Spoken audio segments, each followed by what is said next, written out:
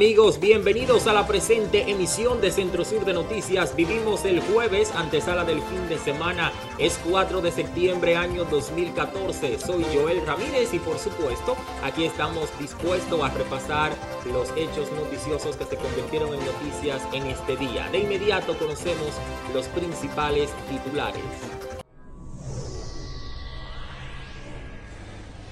Desconocidos incendian vehículo de Pablo Esteves, coordinador del Falpo, en esta ciudad.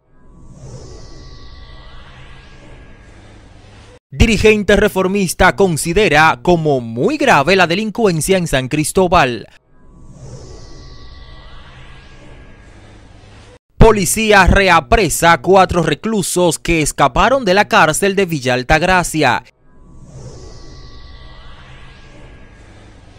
Y Pacholi advierte a Raúl Mondesí que si atenta contra su familia responderá personalmente. Iniciamos la presente emisión con el coordinador municipal del Falpo en esta provincia de San Cristóbal, Pablo Esteves, que denunció que por instrucciones del alcalde Raúl Mondesí, varios de sus colaboradores incendiaron anoche su camioneta como represalia por las críticas que este y otros dirigentes comunitarios han hecho al ayuntamiento. Nuestro compañero Alexander Vallejo nos cuenta.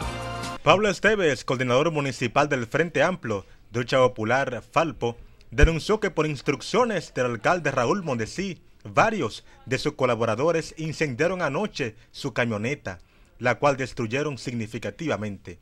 Según Esteves, el hecho se produce como represalia por las constantes críticas que este y otros dirigentes comunitarios han realizado al ayuntamiento. El alcalde Raúl Mondesí tiene que terminar en los tribunales. El alcalde tiene que explicarle al país qué ha hecho con los 1.700 millones de pesos que han pasado por sus manos. Nosotros no nos amedrantaremos ante esta situación. Estamos ya acostumbrados a los actos delincuenciales que proceden y emanan del cerebro del alcalde.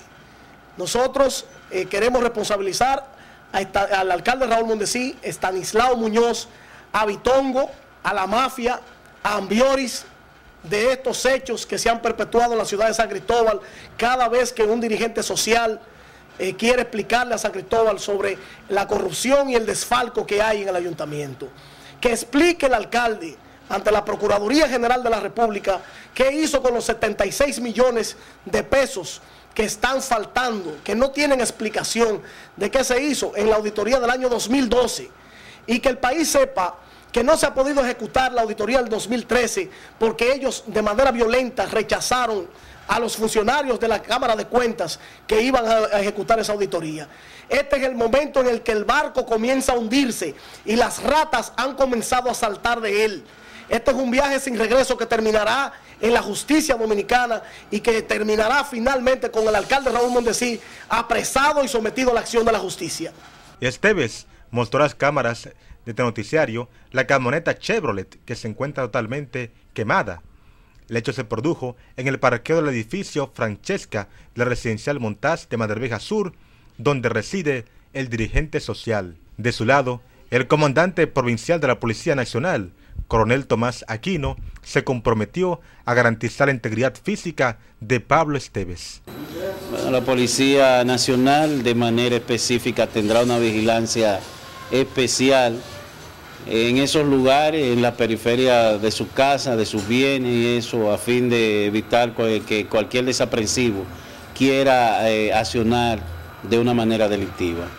En el día de ayer, personal de la Procuraduría General de la República intervino al Ayuntamiento Municipal por supuestas irregularidades en el manejo de los fondos públicos. Alexander Vallejo, Centro Sur de Noticias. Y el dirigente reformista Bernie Metz considera preocupante el alto nivel de delincuencia que afecta a la provincia de San Cristóbal, por lo que puso en duda que exista una disminución en los actos delictivos y criminales en esta ciudad, como señaló el jefe de la Policía Nacional Mayor General Manuel Castro Castillo. La criminalidad y la violencia se mide por cada 100.000 habitantes. El país estaba siempre en un, índice entre 25 y 26 personas fallecidas por violencia en base a 100.000. San Cristóbal, lo han dicho las autoridades mucho tiempo, que es de los principales índices, lamentablemente, mayor delincuencia y mayor criminalidad. Yo no tengo acceso a ese estudio y me gusta llevarme a la fuente oficial porque hay que creerle los datos que ellos dan. Ahora bien, lo que se vive hoy en San Cristóbal, con la muerte reciente de un joven empresario, de familia que ha sido atacada, la familia tradicional como Inés Díaz que fue atracada en su, vehículo, no nos parece que haya bajado el índice. Nosotros quisiéramos tener un dato más específico de la policía en ese sentido. El precandidato presidencial del Partido Revolucionario Mayoritario, Luis Abinader, visitó diversos sectores del municipio de Villa Altagracia, donde sostuvo encuentro con jóvenes profesionales, obreros y amas de casa para conocer sus necesidades. Nuestra compañera Janelki Sánchez nos responde. Abinader se comprometió a dar su apoyo a las aspiraciones a alcalde que tiene el doctor Edwin Ferreira y además dijo que un gobierno encabezado por él se tomará en cuenta ese municipio. Criticó que la biblioteca pública de ese municipio esté en mal estado y llamó a los seguidores de su proyecto a trabajar para lograr la victoria en las elecciones del 2016. Aprovechó la ocasión para pedir a los congresistas, alcaldes y regidores del PRM a actuar diferente al PRM Mirar al pasado para no permitir los mismos errores, pero rescatar lo que se hizo bien en el pasado. Yanelki Sánchez, Centro Sur de Noticias.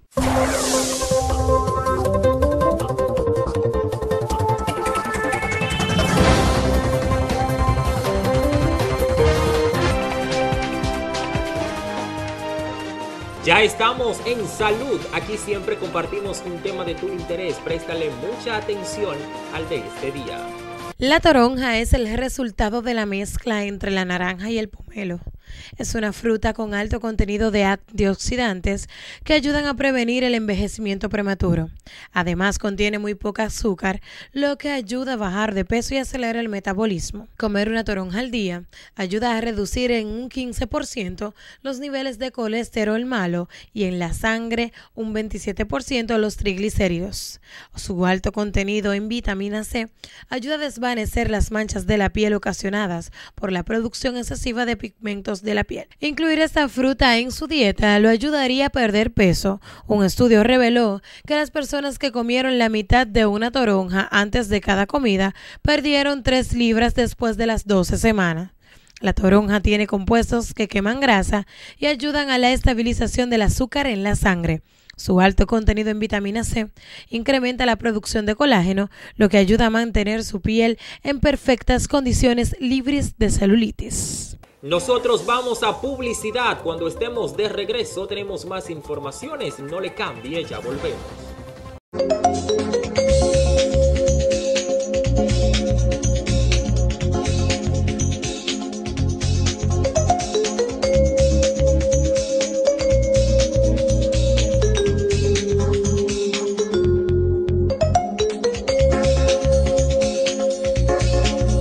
La esquina de la Yaroa Aprovecha nuestras ofertas martes y jueves.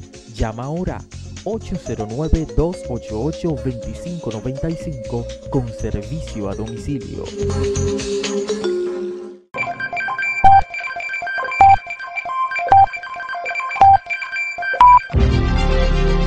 Cápsula informativa sobre los terremotos. A continuación, les vamos a presentar medidas a tomar antes, durante y después de un terremoto. Antes de un terremoto. Identifica los lugares seguros de su casa y en la comunidad. Refuerce las estructuras en mal estado. Tenga listos reservas de alimentos, dígase agua, medicamentos, radiobaterías y linternas. No ubique objetos pesados en lugares altos. Sujete los muebles contra la pared y mantenga las escaleras y salidas libres de obstáculos. Durante un terremoto. Si se encuentra dentro de un establecimiento comercial, aléjese de las ventanas, colóquese debajo de las puertas y marcos reforzados, no se precipite a bajar escaleras y no utilice el ascensor.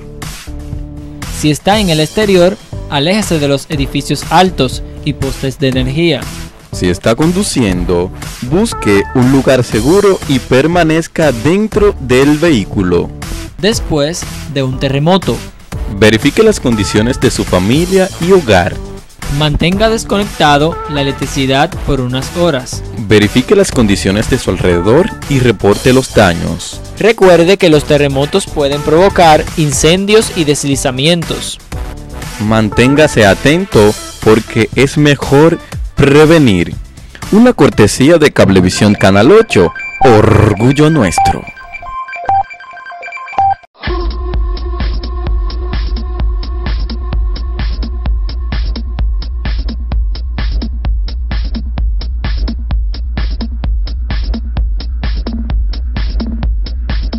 Para equipar tu hogar, Distribuidora del Sur. Estufas, neveras, lavadoras, juegos de aposento con los más finos muebles que le dará el toque distinguido a su hogar. Distribuidora del Sur, la casa del pobre, donde los ricos se pierden una de las grandes emociones de la vida, pagar el último pagaré. Visítenos en la calle Florencio Araujo, teléfono 809-528-2450.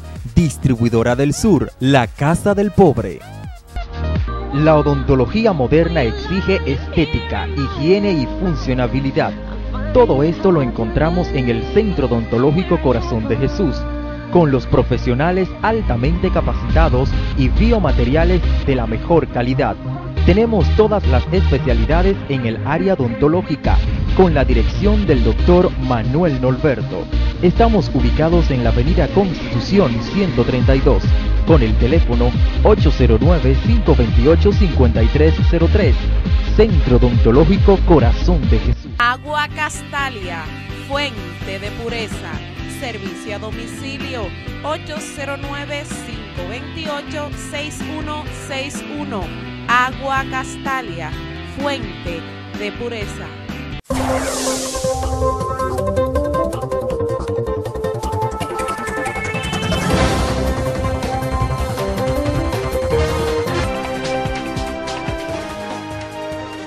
Gracias por continuar con nosotros. Iniciamos este bloque con el resumen de las informaciones nacionales. El Senado acogió las observaciones que hizo el presidente Danilo Medina a la ley que declara Parque Nacional Loma Miranda. Solo tres senadores votaron en contra de 29 que estaban presentes, Euclides Sánchez, Sonia Mateo y Amable Aristi. La Cámara Alta convirtió en Parque Nacional a Loma Miranda en la sesión del pasado miércoles 26 de agosto. Sin embargo, con esta acción del Senado, queda sin efecto esta declaratoria. En otra información, el ministro de Defensa General William Muñoz dijo que las unidades castrenses entraron ayer en estado de acuartelamiento, en apresto operacional y en condiciones de ejecutar planes de contingencia para reforzar la seguridad ante las amenazas de manifestaciones populares para presionar al Poder Ejecutivo a promulgar la ley que declara a Loma Miranda Parque Nacional, según una fuente de ámbito castrense. En efecto, la policía y los mandos militares han establecido un canal de comunicación y operación constante para garantizar la seguridad de los ciudadanos y frustrar cualquier amenaza a la propiedad pública y privada. Y para finalizar, la Policía Nacional y el Ministerio Público de Santiago investigan la muerte de un reconocido médico de esa ciudad cuyo cadáver fue encontrado amordazado y calcinado en el interior del baúl de un carro en la autopista Duarte Tramo La Vega Bonao. La víctima identificada como José Alcántara Ten era el encargado de la unidad de oncología del Hospital Presidente Estrella Ureña del Instituto Dominicano de Seguros Sociales de Santiago. Su esposa, que también es médico, Lisette Guerrero, pidió a la Policía Nacional que profundice las investigaciones del caso. En las nacionales de Centro Sur de Noticias, Janel Kiss, Sánchez. Amigos, y continuando con más informaciones, fueron reapresados cuatro de cinco reclusos que se fugaron en la madrugada del domingo de la cárcel preventiva policial del municipio de Villa Altagracia. Orlando Landa, Santo de León Marrero, Giancarlo Figueroa y Frank Kelly Mesa, acusados de atraco y robo de motocicleta, fueron reapresados, pero sigue prófugo otro identificado como Víctor Roque Santos, acusado de narcotráfico. La tarde del domingo, uno de los presos que se escaparon se entregó a través del alcalde municipal Luis Pavolo. Recluso Orlando Landa, de 18 años de edad, le fue entregado a la coronela Inés de la Cruz Pereira, quien presta servicio en Villa Altagracia. Yanelki Sánchez, Centro Sur de Noticias.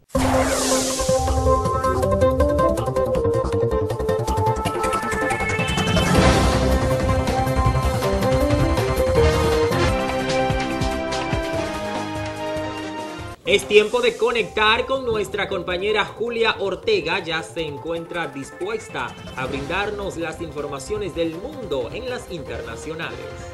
Sí, muy buenas noches, Joy. Señores, la niña secuestrada por su padre sospechoso de yidaísmo vuelve a Francia. Su madre la rescató. Veamos. Una madre rescata a su hija de las garras del islámico radical. La mujer ha recuperado a la pequeña de dos años de edad después de que pasara 11 meses en Siria con su padre, sospechoso de yidaísmo y detenido en Holanda.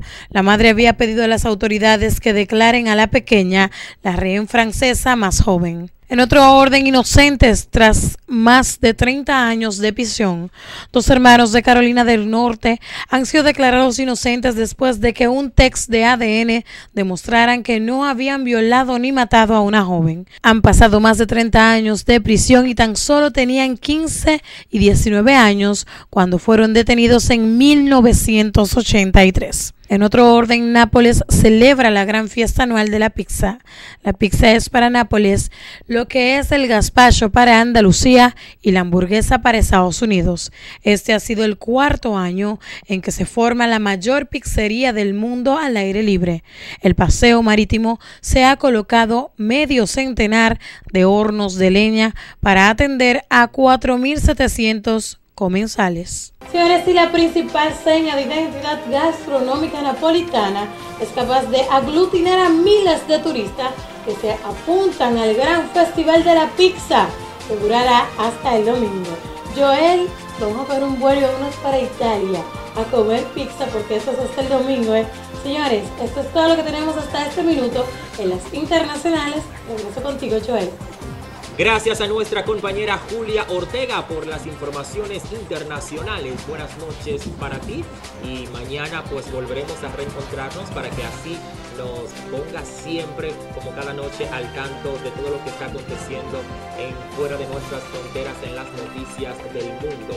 Vamos ahora a cambiar de tema y por supuesto recibimos a nuestro director de prensa Julito Pereira y su comentario de actualidad. Buenas noches, Julito. Muchas gracias. La Cámara de Cuentas y la Procuraduría General de la República intervinieron el Ayuntamiento Municipal de San Cristóbal desde ayer. Y eso es positivo siempre y cuando de ahí salga realmente la verdad de todo lo que está pasando en asuntos de deudas, compromisos, contratos, etcétera, etcétera, etcétera. Porque hay que dejarse ya de, de perder tiempo, hacer show, y ligarlo todo a la política. Esas comisiones que están interviniendo el ayuntamiento e investigando todas las documentaciones, espero que cuando concluyan le den a la prensa importantes declaraciones de los resultados de esas investigaciones. Por otra parte, lamentamos mucho lo sucedido al comunicador y también hombre de hombre que trabaja en diferentes medios llamado Pablo Esteves, el cual su vehículo fue incendiado en su propia residencia. Pablo Esteves es un hombre ligado al falco y una persona ligada también al medio ambiente y se informa que en horas de la madrugada su vehículo colocado en su propia marquesina lo incendiaron y se acusan a elementos, dice él, ligado al alcalde Raúl Mondesí Avelino. No sé si él o no es él, yo lo que sé que sí es cierto, es un acto vandálico, terrorista, el cual tenemos que rechazar. Muchas gracias.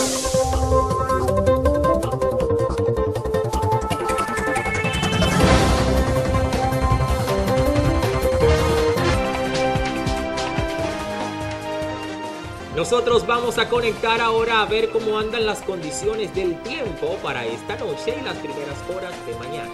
La Oficina Nacional de Meteorología informó que para el día de hoy los modelos de predicciones de lluvias son consistentes en mostrar una atmósfera con poco contenido de humedad a pesar de que estamos bajo la incidencia de una onda tropical en nuestra área de pronóstico, pero que no muestra abundante nubosidad para provocar aguaceros de importancia sobre el país.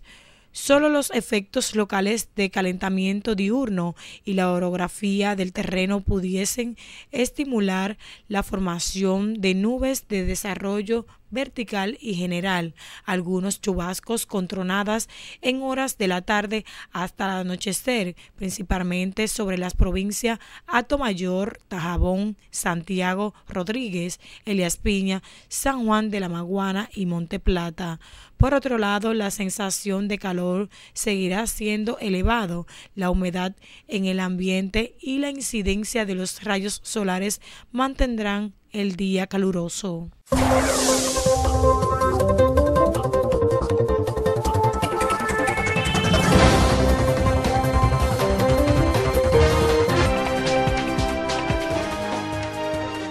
Es tiempo de conocer el resumen de las informaciones del mundo de los deportes en CFN.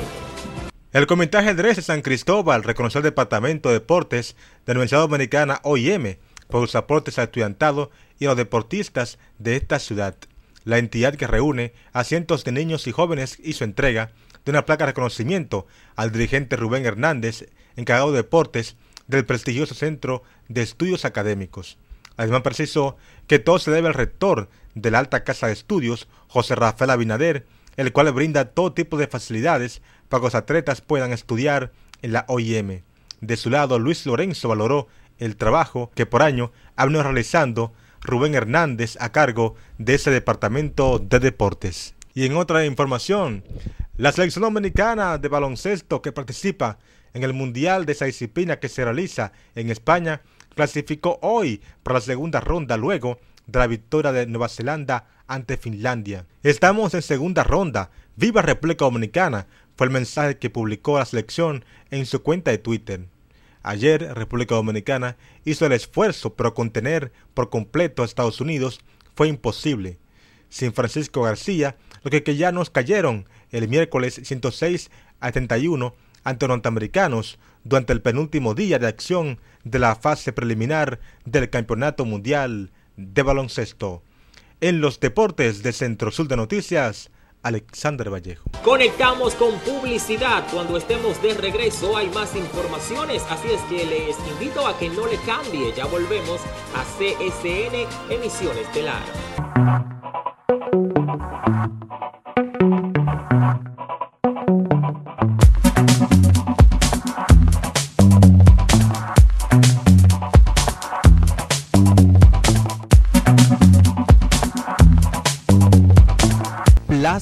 Valerio. Todo lo que necesites en el área de ferretería. En la grandota lo encontrarás. Maciel Comercial Ferretería. Los muebles, neveras, estufas y todo para tu hogar. Electromuebles Daniela.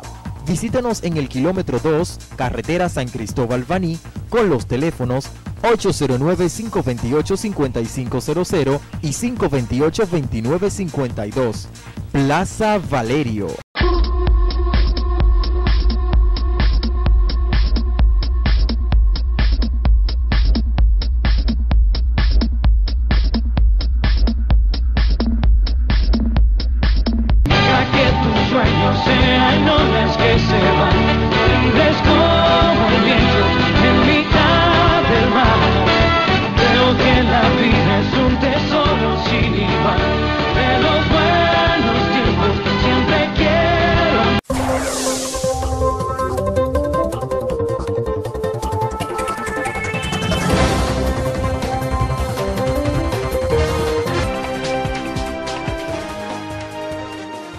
Gracias por continuar con nosotros y de inmediato vamos a ver cómo andan las cotizaciones de las monedas extranjeras y las informaciones más importantes en el ámbito económico.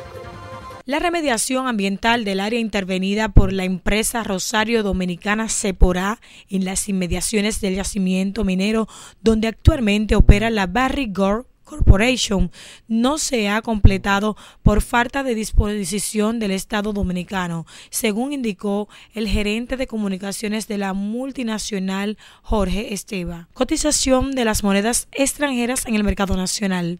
Tenemos que la compra del dólar se encuentra a 43 pesos con 25 centavos, su venta a 43 pesos con 78 centavos, mientras que la compra del euro se encuentra a 56 pesos con 60 centavos, su venta 57 pesos con 90 centavos. El barril del petróleo se encuentra a 102 dólares con 77 centavos de dólar, aumentó 2 dólares con 43 centavos de dólar. Amigos, continuando con más informaciones en el plano local, el electo presidente de la sala capitular, Diomar de la Rosa, denunció que varios regidores todavía no han recibido sus pagos correspondientes al mes pasado y a otros concejales se les han entregado cheques sin fondo.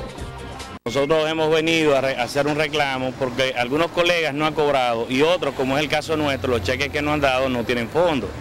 Entonces nosotros no hemos querido venir a hacerle daño a nadie, lo que pasa es que el caso ya se ha salido de la mano y ya hacemos un llamado a todos los sectores sociales para que este problema que hay en San Cristóbal de los cheques sin fondo, del mal manejo municipal, sea resuelto. Ellos parece que todavía no se han dado cuenta de lo que está pasando.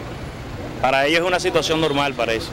Y el dirigente comunitario Manuel Antonio Nina Pacholi lamentó el incidente donde fue incendiado un vehículo del coordinador local del Falco, Pablo Esteves. A su vez, responsabiliza de cualquier agresión de este que este pueda sufrir al alcalde municipal Raúl Montesí. Los detalles con nuestro compañero Alexander Vallejo. Manuel Antonio Nina Ramírez Pacholi lamentó el incidente donde fue incendiado un vehículo del coordinador municipal del Falpo, Pablo Esteves, por lo que exigió una condena contra este hecho. Anoche a eso de, la, de, de 11 y media, 12, no sé precisar, yo sé que estaba el canal 11 en el noticiario. Este, eh, Pablo me llamó, pachó y me acaban de quemar la camioneta. Este, esa camioneta ya hacía día que eh, una persona sin querer la chocó ahí cerca del Palacio de Justicia pero eso fue un accidente normal y entonces él la tenía estacionada en su casa, chocada, le había quitado la batería porque ese vehículo tiene un tanque de gapropano.